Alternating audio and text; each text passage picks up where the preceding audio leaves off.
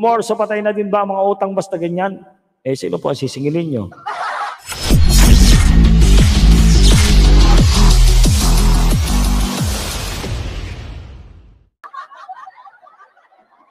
Una-una, hindi po utang yon, Ma'am Nicole. Ang utang, may kasulatan yan.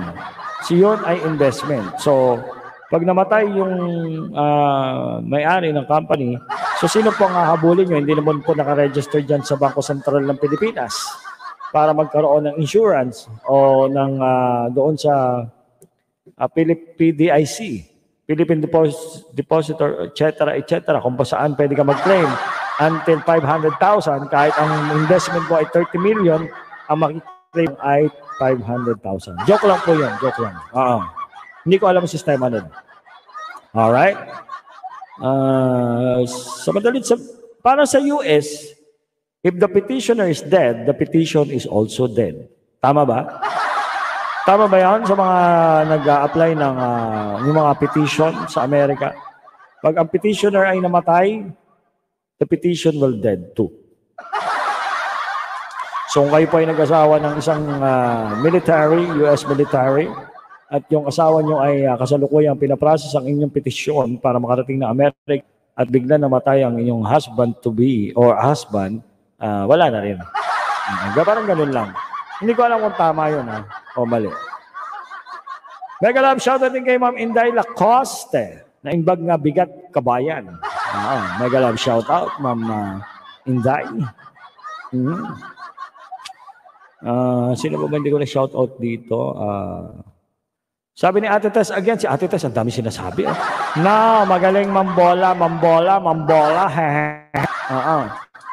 Sabi ni President Man of Steel, kahit sa bangko, Tolimor, pag tumaas ang interest ng time deposit, eh delikado yon. Sounds na kailangan ng money. Oh, ganun. Pag tumaas yung interest, Di ba, maganda kasi tumaas yung interest mo, naka-time deposit ka, so tumaas, good yun. Kasi ano, kasi maganda ang magiging ano mo, pero magulat ka na, biglang sarado yung bangko. Ganun ba yun, President man? Mami Marikita Fale Agazarian, 544. Mega love shoutout Naknimore and Baby Side, President Dong, Admin Eliza, Bonbon, at lahat ng FFCA worldwide, but most of all, to our beloved FLM, at sa lahat ng nasa comment sections, Lipad Aguila, Lipad Aguila, shoutout po, Mami Marikita F. Aguzarian. At ganun din kay Ate Madsi at Kuya Ors TV ng Canada. Mega love shoutout po sa inyo. Uh, Ma'am Credits Logro, mega love shoutout. Ma'am Aida Ocampo. Sabi ni Ma'am Belen Kadangan, siya din ang nalugi, ating naman at siya din ang nahihirapan. Yes. Sabi ni Ma'am Leia Oweda ng FFCI Japan, mega love shoutout Ma'am Leia. Kaya huwag magbibitaw ng pera sa walang kasiguruduhan. Dahil pag binitawan mo pera mo, hindi na sa iyo yon, sabi ni Ma'am Leia Oweda. Mm-hmm. Sabi ni Ate Tess, again, ha, ibabayad kay Juan Tamad. LOL, patawa lang po. Ah, nagpapatawa si Ate Tess. Ma'am Donya Plastica, shout out sa lahat. Mega love shout out. sabi ni Ma'am Jonit Madria, President ng FFCI Brunei, tama yan, Limor. Nangyari sa friend ko sa amin na dali sa million Doble daw. Yes, nakakuha siya ng million. Bandang huli million din ang nawala sa kanya. Kawaw siya nawala ang million niya. Okay, ganito yan. Ipapaliwanag ko, Ma'am Johnny Pandila. Kung bakit po nangyari sa kaibigan mo yan. Alright.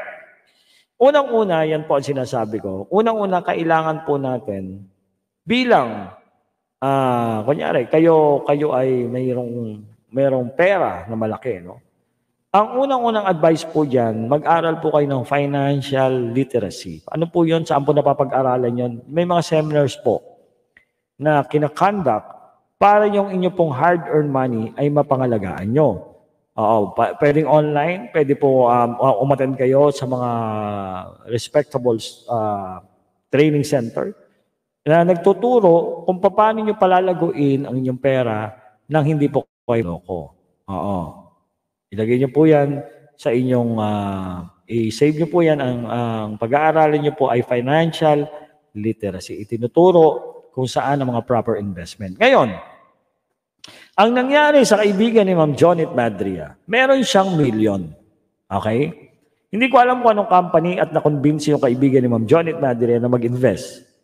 na nag-invest yung kaibigan niya ng 1 million, o 1 million halimbawa, let's say 3 months, sinabi na yung 1 million mo ay kikita ng 300,000 within 3 months. Okay, ang ginawa dyan, from 3 months, kumita. Na andun pa rin yung interest, yung kanyang kanyang uh, principal amount uh, na investment, pero binigyan siya ng cheque na 300,000. Okay? Ito po speculation ko lang, hindi po ito yung totoong nangyari. Ano lang to? Basihan ko lang kung bakit naloko yung kaibigan niya. Alright. Ngayon, uh, nung tinanong siya, halimbawa ng company, yung, yung 300,000 na kinita mo as interest, pwede mo rin i-roll over yan doon sa, sa principal amount mo na 1 million para ang investment mo nga ay 1.3 million. So, syempre, sounds good. So, ang gagawin mo ulit, sige, hindi ko muna i-withdraw yung aking interest na 300,000, i-roll over ko yan. So, six months, nakapag-claim halimbawa siya ng 700,000. So, winidraw niya yung 700,000. Still, ang investment niya ay 1.3 million. On the 12 month, di ba? Uh, nadag, dinagdagan niya uli yung investment niya, ginawa niya halimbawa 2 million na ipinasok niya rin uli doon yung 700,000. So pagkatapos ng 12 months, hindi na siya makakakuha dahil yung company ay sarado na.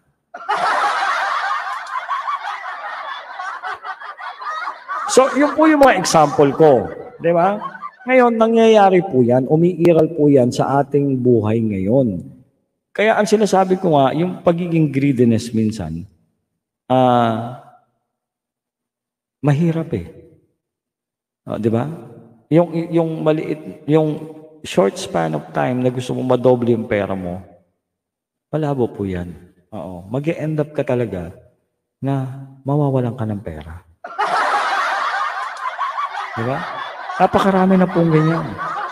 Kaya kung kayo may mga million na tinatabi, ilagay nyo na lang po sa bangko kasi kahit naman baba interest niya, is kumikita. Kaysa naman, o kaya kung malakas ang loob nyo, ipasok nyo sa stocks. Money trade.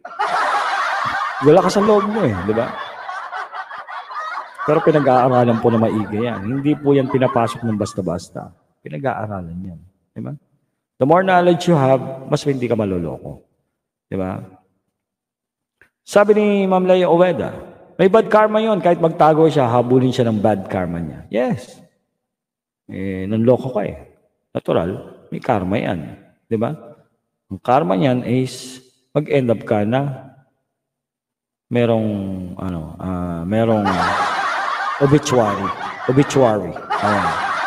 Ma'am Emily Mega Love Shoutout, Mega Love Shoutout, Lemore, FLM Team, FFC Worldwide Comment Section, Idol Francis Leo Marcos, Agbiag, Ma'am Emily Antonio, Mega Love Shoutout. Japan and Philippines channel, stay home. Uh,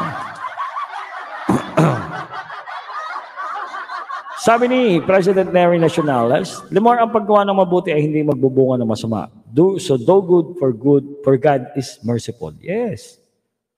Tama po yan, uh, President Neri. Kuya Gob Stewart, born loser pa nga. Mega love shoutout po sa lahat ng mga mahal kong kapatid. Mega love shoutout. Uh, sabi ni Ma'am Leia Ueda, FFCA Japan, hindi utang yon Panggaganso ang tawag doon. Yes, maliwanag na ano yon na panggagancho. Pero may mga tao po kasi, Ma'am Leia, hindi natin masisisi eh. Oo. May mga tao talaga na kumakagat sa ganyan. Diba? Alam naman nila na delikado na hindi naman stable yung company na papasukan nila. But still may mga tao po eh. Diba?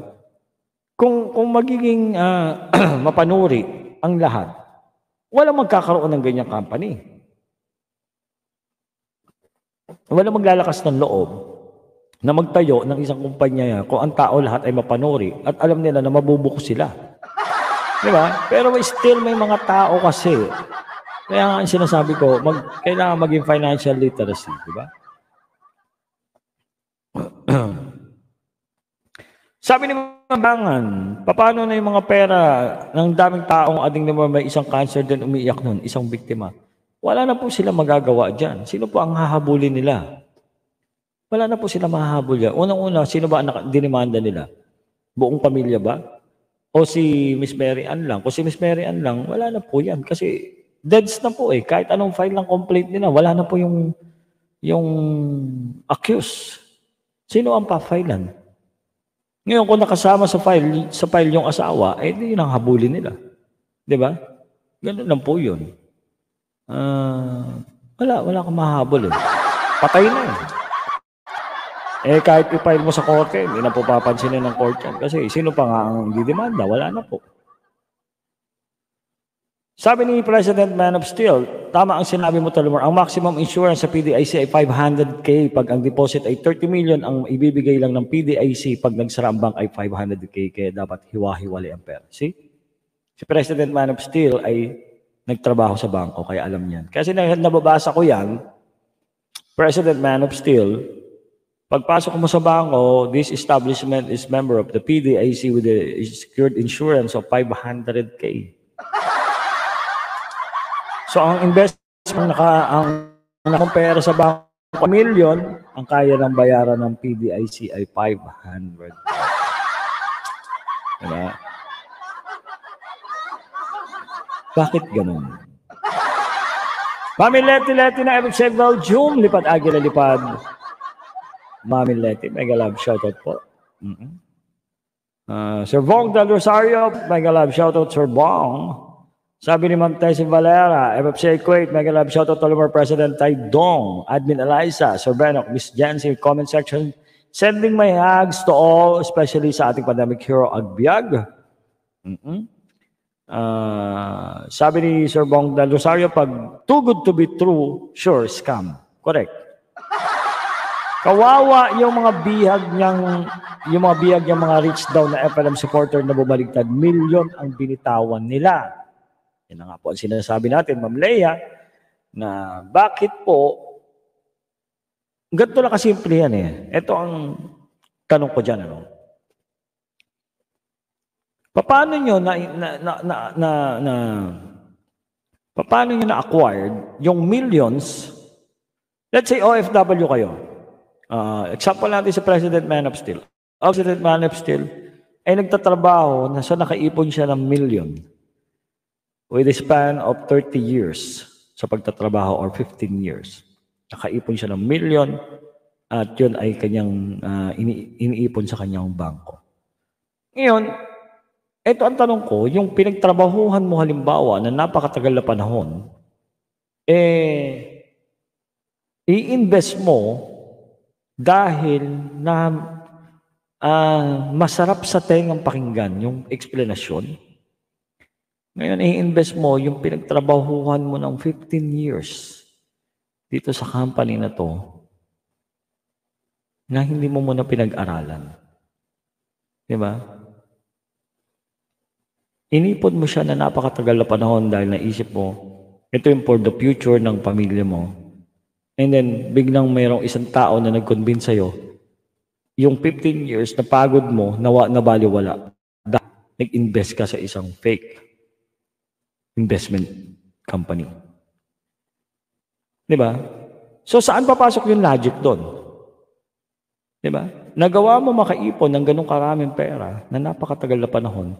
Tapos, all of a sudden, kasi tinatanggap mo kahit maliit lang yung magiging interest ng bangko before. Pero may, nag, may nag-offer sa'yo ng ganito na kikita ka, double, triple your money, bigla ka na convince. Di ba? Parang lumabas, yung 15 years na, na pag, pag-iimpok mo, nabaliwala yung effort mo doon, pati yung mentality mo, dahil na-convince ka ng ganito. Which is nangyayari yun, kasi magagaling nga silang mag-sales stock. Di ba? Bakit, bakit, bakit ka na-convince eh? Kasi magaling mag-sales stock eh. Ang tanong, inaral mo ba yung negosyo? Hindi. Meron ka bang financial literacy? Wala. Ay, kaya ka na biktima.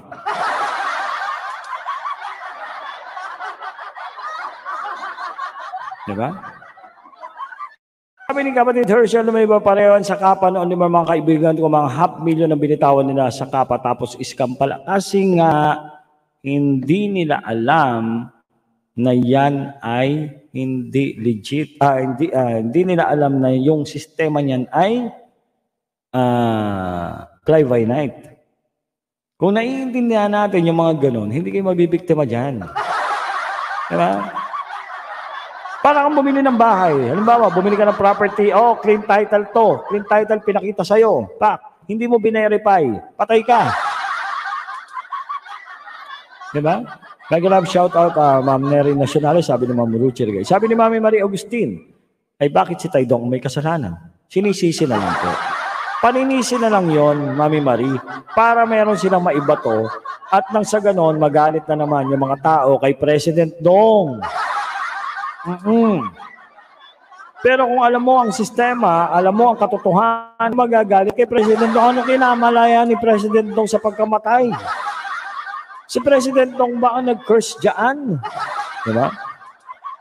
So, ipipilit nila na maging malinis sila, iiyakan at kakaawaan, kunyari, pero sila ang may kasalanan, bakit nag-end up yung tao niyon sa ganung sitwasyon? Di ba? Alam niyo naman dito sa SOCMED, di ba? Dito sa SOCMED, palinisan, paganda ng sinasabi, pakapalan ng muka, lahat na ng pwedeng uh, pa, paanuhan dito, nagpapaanuhan. Di ba? Kaya nga kailangan dito maging mapagmatsyag. Di ba? Simple lang ang buhay.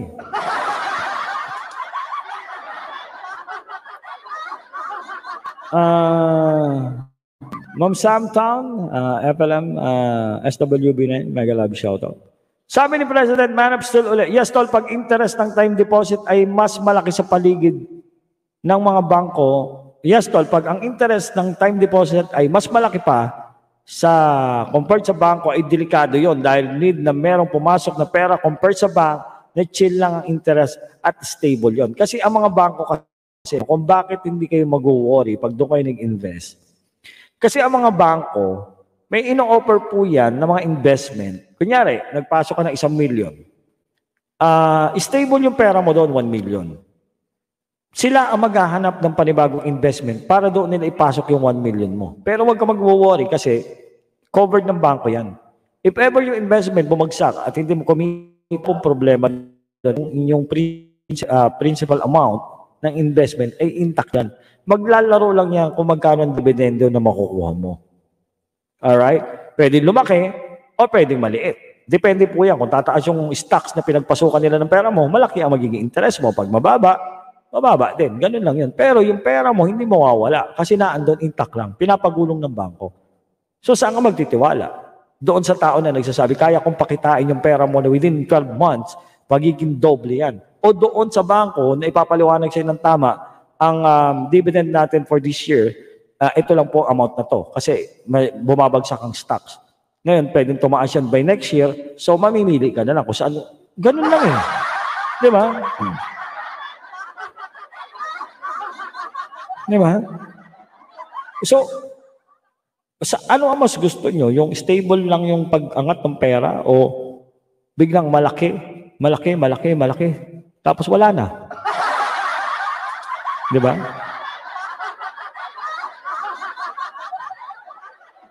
Mega love shoutout kay Don Vincent McLean USA. Ayan. Ah, uh, Utol Muhammad Salami, mega love shoutout. Ayan. Assalamualaikum to and to all here. Sabi ni Ma'am Nicole Luis, ang asawa niya, di ba pwedeng nakabenepisyo din yun? Nakabenepisyo yun, pero ang tanong, kasama ba sa demanda? Para mahabol. Kasi kung eh, naka-et al yung asawa doon, pwedeng ituloy yung kaso. Hahabulin yon. Depende po. Oh, pero ang, ang main uh, na nakapay lang doon ay si yung asawa lang na babae na, na sinasabi nga namatay na wala na pong hahabulin. Di ba? Sa tingin ko naman naka naka et al sa asawa. Kaya may meron pa pag-asa yung mga ano, yung mga tao na nadali. Sabi ni Ma'am Leia Ueda, yung nagtakas ng pera ko na real estate agent, inatake sa puso. Kulang pa yung pambayad sa ospital na ibenta nila lahat ng pag-aari nila. See? Madali man loko, pero yung balik sa iyo.